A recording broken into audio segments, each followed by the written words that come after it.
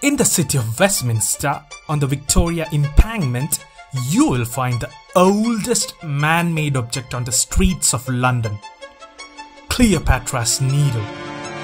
This majestic obelisk dates from 1450 BC and was gifted to Britain by Egypt's ruler in 1890.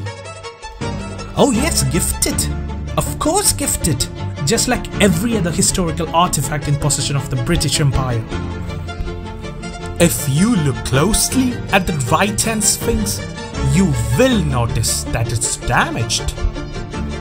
This is shrapnel damage from a bomb dropped on the 4th of September 1917 in the first air raid on London by German airplanes during the First World War.